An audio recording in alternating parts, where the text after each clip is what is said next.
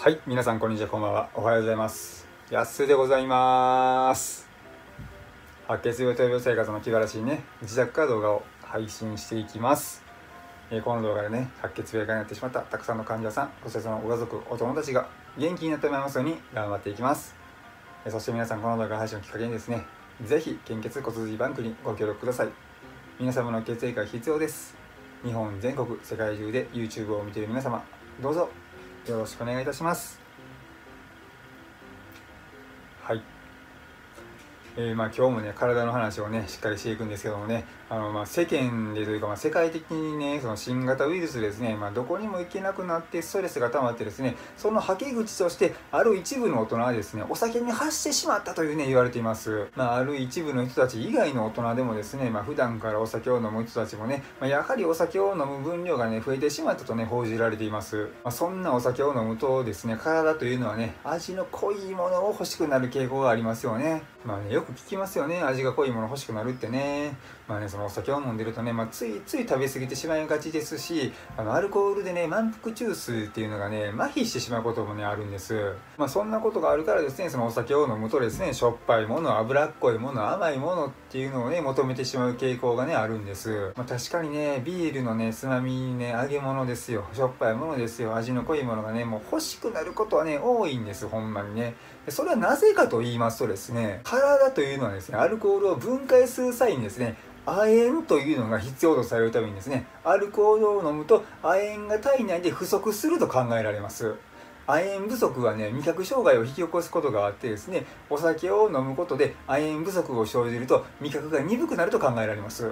まあ、これまでね僕はねその味覚障害でね亜鉛を紹介させてもらってましたけどね、まあ、今回はその逆説という感じのね紹介になります。そのお酒をね飲んでね酔っ払ってね食欲が増す上にですね亜鉛が大量に消費されて味覚が麻痺して味の濃いもの脂っこいものをたくさん食べます。外で飲む場合はですねおつまみの種類もね多くてですね味も濃いですしあの油もね自宅で調理する時よりもね多く使われています。またねお酒はアルコール度数がね高いほどねカロリーも高いんですよ。そうなるとですね必ず肝臓に影響があります。するとどうなってしまうのかと言いますとですね、まあ、先日の動画でもお伝えした通りですけどもね肝臓をねはじめね体というのはねアルコールやね同時に食べたその味の濃い高カロリーな食材をね分解や消化をすることができずにですね血中コレステロール値が上がってしまって中性脂肪が増えて内臓脂肪が増えて太ります、まあ、その中でもね肝臓にね脂肪が溜まってしまって脂肪肝というものになってしまうんです。そんな脂肪肝というのはですね肝臓に中性脂肪がたまる病気です。この食べ物からね取り込んだね脂肪酸をね、えー肝臓で人の利用できる形の中性脂肪に変えて血液を通してね血液を通じて全身に運んでエネルギー源としたり各臓器のね材料にします。逆にね全身の脂肪組織からね血液中に放出された脂肪酸を取り込んで、えー脂肪酸に変えて再利用していきます。このようにね肝臓というのはですね食べ物から摂取する脂肪とかえ全身の脂肪組織から運ばれてくる脂肪えそしてさらに肝臓自身が合成する脂肪でですねいつも脂肪まみれで働いていると言えます。肝臓が正常にね機能していればね、まあ、問題ないんですけども食事から摂取する脂肪が増えたりね、え肝臓自身の疲労やね病変でね機能が低下するとですね全身から運ばれてくる脂肪酸を処理する力が落ちて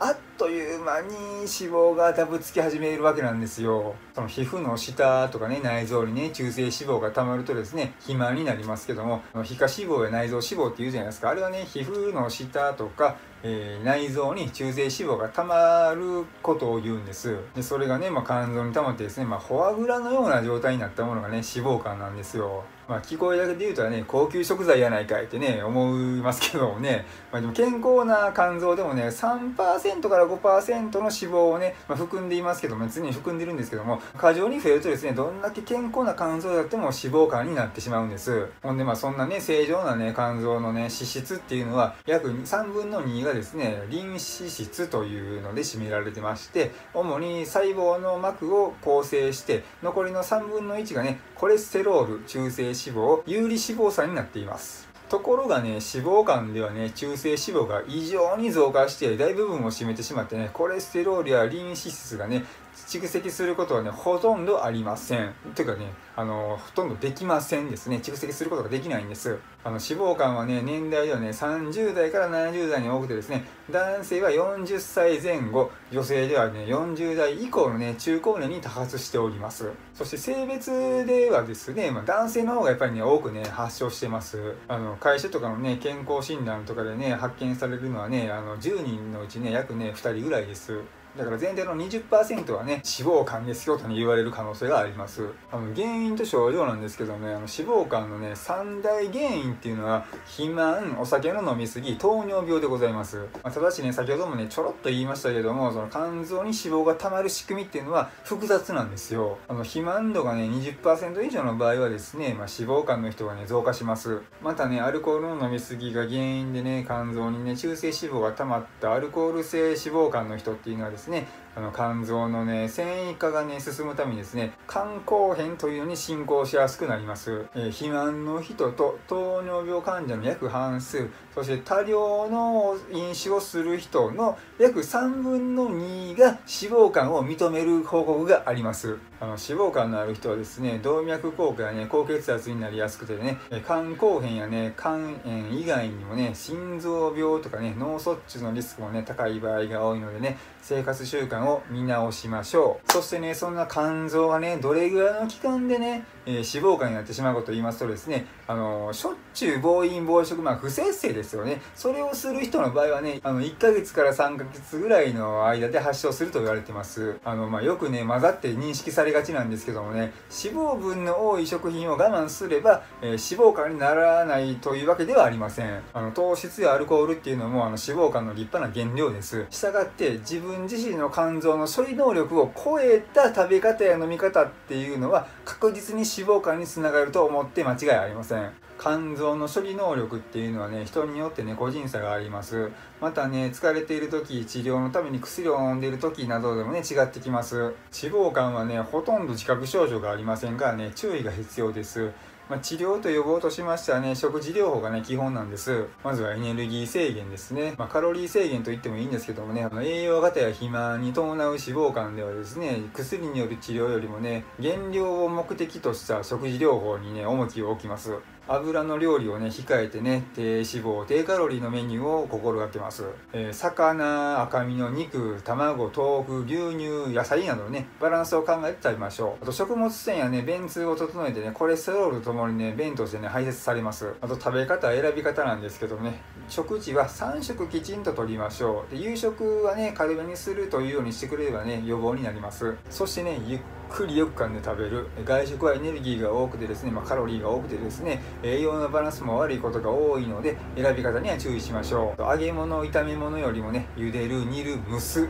っていう料理はね油を使わずに調理ができます。そしてね、まあ、アルコールを減らすことですよね、まあ、すぐにでも禁酒、えー、摂取をね始めましょう。禁酒は無理でもね摂取ですよね。摂取を始めましょう。さらにはね運動療法もあります。あの脂肪肝ではね食事で入ってくるエネルギーをね制限すると同時にね運動でねエネルギーの消費をね努めましょう。あのしかしですねむやみに激しい運動をしても効果はありません。最近テレビなどでもねよく言われてますけどねあの僕この動画でも何回も言ってますけどもね有酸素運動ねウォーキングでございます、まあ、最低ね1日ね、まあ、15分から30分の間、まあ、20分間ですよね。約20分間するのがね効果的です、まあ、おすすめとしましては15分歩いて15分帰ってくるっていう30分がね一番ね僕はいいかなと思っております。まあそこはねあのご自身の体と相談してやってみてください。そんな有酸素運動はですね脂肪肝にも効果的なんですけどもね体を動かすことでねストレスもね少しはね解消できます。ほんまにね心と体もねすっきりさせられるのでもうぜひね試してみてください。まあね食事療法ねまあ難しいと思います。すごい辛いです食べたいのに食べられへんっていうのがね思うとねすごい辛いです。あとね僕もね別にお酒は嫌いじゃないので今はね病院から止められてるんで飲みませんけどもお酒も僕は好きなんです。でもまあ僕はね入院中からまあ2年間以上っていうのは、まあ、今飲んでないんで、えー、今は全く欲しくないですけどもお酒のね美味しいっていう味とあの快感はね知ってます。だから立つのは難しいです。でもちょっとねあの分量をね飲む量をね減らせれると思います。ねまあ、欲しいものを我慢するというのはねすごい大変なことだと思います。心もねしんどいです。まあちょっとだけね食事とねあのお酒を我慢してもらうことでねあの新型ウイルスストレスというのとね脂肪肝っていうのをね、えー、一緒にね追っ払っていきましょ